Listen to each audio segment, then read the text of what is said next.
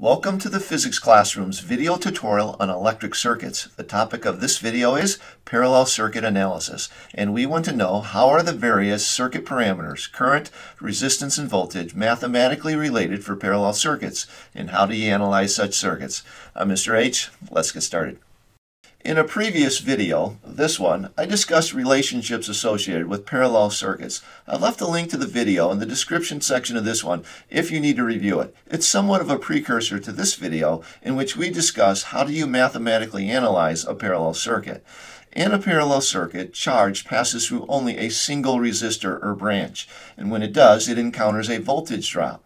The voltage drop will be the same whether it patches, passes through the first branch, second branch, or third branch, and that voltage drop is equal to the voltage gained in the battery. That's what this equation is stating. Charge that exits the battery of a parallel circuit will eventually reach a node, and at the node, current is divided into different pathways the sum of the current in the individual pathways will be equal to the current outside of those branches or pathways. Thus, we can say that the current within the battery and the wires outside the branches is equal to the sum of the currents inside the branches, I1 plus I2 plus I3. If you need to find the current within any of the branches, you need to know the electric potential difference across that branch and the resistance of the resistor in that branch. The electric potential difference across the branch is simply equal to the voltage of the battery. So you take the voltage of the battery and divide by the resistor in order to get the current. I1 is equal to delta V of battery divided by R1, I2 equal delta V of battery divided by R2, etc.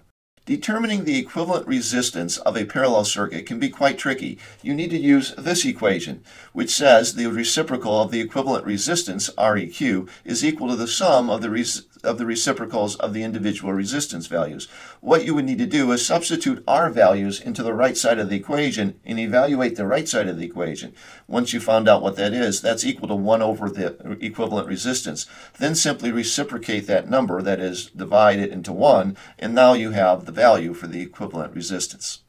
In my first example problem, I have two resistors, a 4 ohm and a 6 ohm resistor, connected to a 24 volt battery in parallel. I want to determine all of this. I'm going to begin with the equivalent resistance. So 1 over Req is equal to 1 over 4 plus 1 over 6. I evaluate the right side. It comes out to be 0.4166 repeating.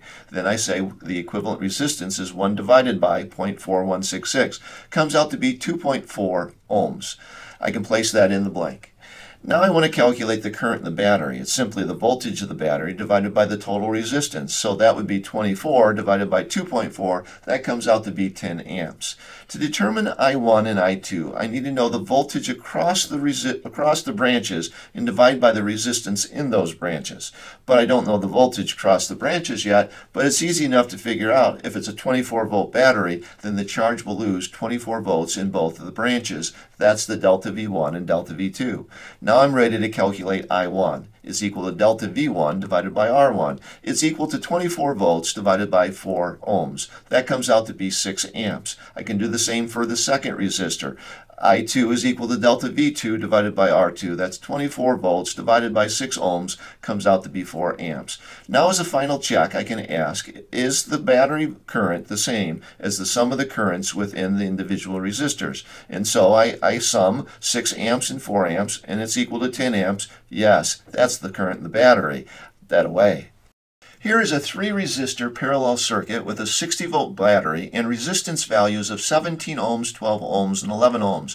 And I want to determine all of this. I'm going to begin with the equivalent resistance. So I go 1 over Req equal 1 over 17 plus 1 over 12 plus 1 over 11. I evaluate the right side of the equation. It comes to 0.23306 and some change. Take the reciprocal of that, and that gives me the equivalent resistance. I can put it in the blank, about 4.29 ohms. Now I'm going to calculate the current current in the battery. I do that by going the voltage of the battery divided by the total resistance or equivalent resistance. That's 60 divided by 4.29 and some change. That comes out to be 14 amps. I put it in the blank. Now for the easy ones, right above me, delta V1, delta V2, delta V3. Ends up charge gains 60 volts as it passes through the battery. It must lose 60 volts when it goes through the external circuit. It only goes through one of the branches, and so every charge will lose 60 volts in whatever branch it goes through. Delta V1, delta V2, and delta V3 are all 60 volts. Now I'm ready to calculate I1, I2, I3. To calculate I1, I take the voltage drop across resistor 1 and I divide it by the resistance of resistor 1. That's 60 volts divided by 17 and it comes out to be 3.5 amps. I do the same for resistor 2. It's 60 amps divided by the 12 ohms, comes out to be 5 amps. And finally for resistor 3, the current is 60 volts divided by 11 amps or 11 ohms. That's 5.5 amps. Now I'm going to do a check. Is the sum of the branch currents equal to the current within the battery? They should be. So 3.5 plus 5.0 plus 5.5 sum to 14 amps. And that's the current in the battery. Dead away.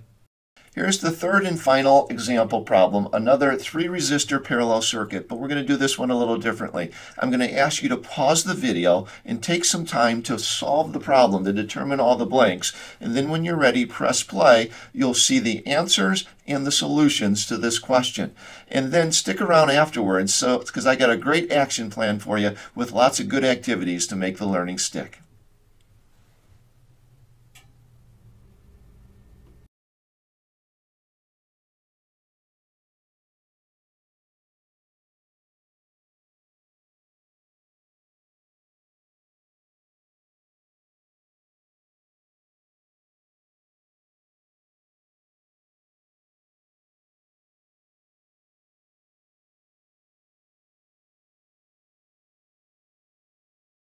It's at this time in every video that I like to help you out with an action plan, a series of next steps for making the learning stick. But before I help you out, could you help us out by giving us a like, subscribing to the channel, or leaving a question or comment in the comments section below. Now for your action plan. Here are five resources you'll find on our website, and I've left links to each of them in the description section of, our, of this video. The Minds on Physics Mission and Concept Builder are a great mathematical practice with a mission, Minds on Physics mission being very much the same format format of the problems of this video. The calculator pad allows you to solve physics word problems. You'll get a problem, an answer, and an audio guided solution. The simulation allows you to change a video and view the effect upon other variables. And finally, we have a tutorial page. Whatever you do, I wish you the best of luck. I'm Mr. H, and I thank you for watching.